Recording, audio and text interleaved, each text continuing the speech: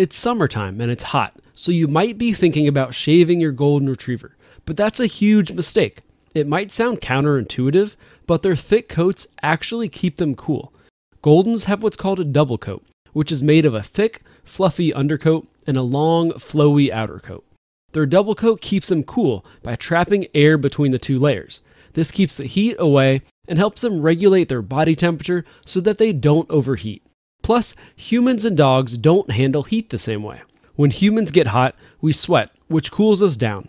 And it's nice to be wearing a tank top in the summer so that the sweat can evaporate, which is actually the way that sweating cools us down. But Goldens don't sweat like humans. They have a few sweat glands in their paw pads, but it's not their primary way to cool down like it is for us. Dogs cool down by panting.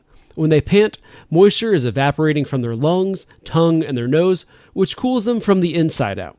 This is why whenever you get in from a hot walk, your dog is panting like crazy. And it's not only the heat that their coat protects them from in the summer, it also protects them from the sun and from bugs. It's mostly the outer coat that protects them from these two elements, so even if you think your dog is fine because you're not totally shaving them, if you cut their outer coat too short, you could leave them exposed to the sun, which could cause sunburn, or you could leave them exposed for bug bites. Not to mention, shaving their coat can also do long term damage to it. According to the AKC, when you shave your dog's double coat down to the skin, the undercoat hair can grow back faster and sometimes crowd out the slower growing top coat. This can change the texture and color of your dog's coat and make it appear patchy and unattractive. We once fostered a golden retriever who had been shaved a few times by her previous owners. Her coat was patchy, thin, and coarse, and I'm sure a lot of that could have been avoided if they hadn't shaved her. And sure, there are many people who have shaved their Goldens in the past, and their coats have grown back fine but every time you shave them, you're increasing the odds of damaging their coat in the future. If you're just now learning this for the first time and you've shaved your golden in the past, feed them a high quality dog food and take good care of their coat now to help them have a healthy coat in the future.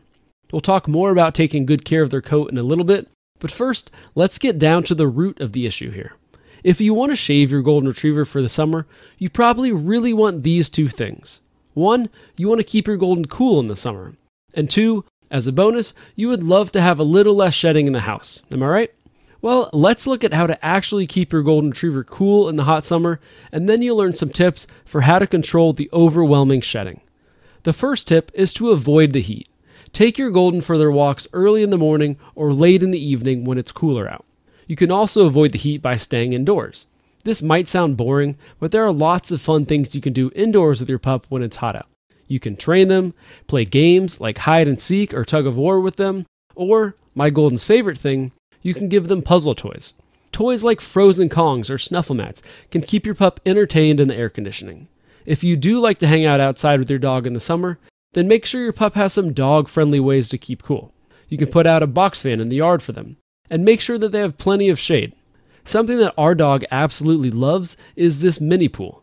This little pool is a blast, it's quick to fill, it folds up pretty small, and it's lasted us three summers so far.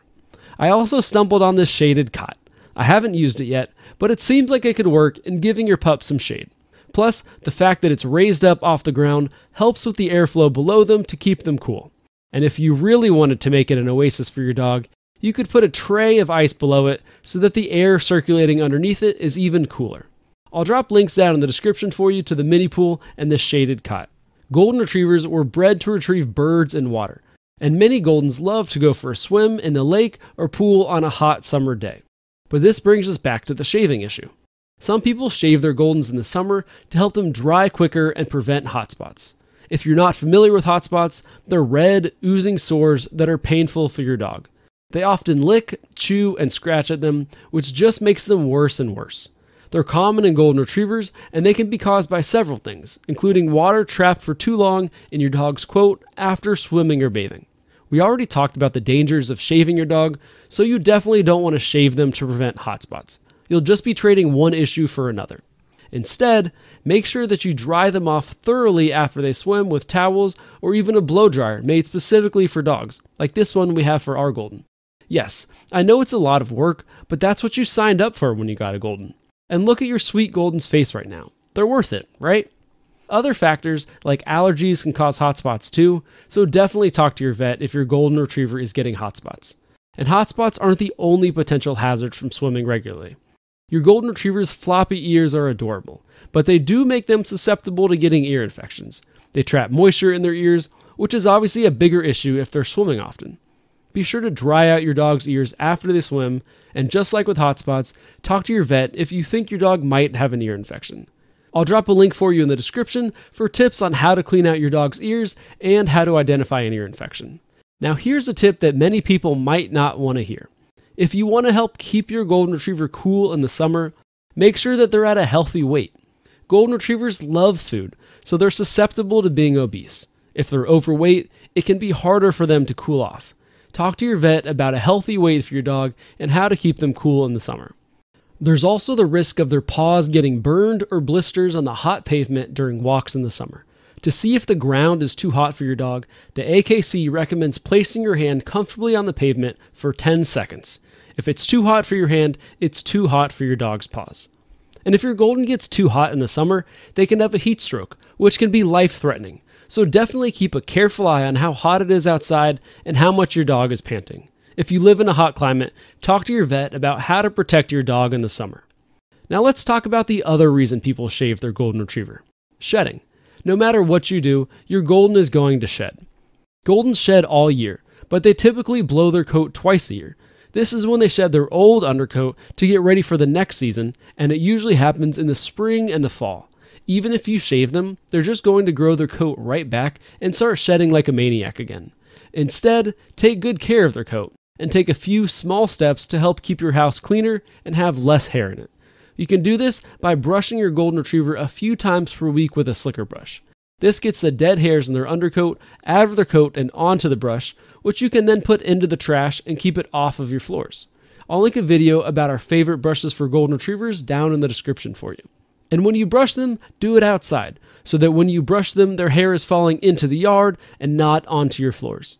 And here's a little bonus tip give them a big rub down before you bring them back inside. You'll get a lot of hair off that was just sitting on top of their coats, which can help you keep your home even cleaner. Many people think that using a de-shedder might help your dog with shedding, but it could actually damage their coats. It pulls and cuts at their undercoat, so just stick to using a slicker brush or an undercoat rake for your golden retriever. And many people do take their goldens to the groomers, but I've heard lots of horror stories about the groomer cutting their dog's hair too short. So definitely do your research before you put your dog's coat in the hands of someone else. Shaving your golden is not good for their health, but now that you've seen this video, you can avoid making this mistake with your pup. And if you want to see what other things humans do that are bad for their golden retrievers, check out this next video about the 12 things golden retrievers hate that humans do. Thanks for watching, and I'll see you in the next video.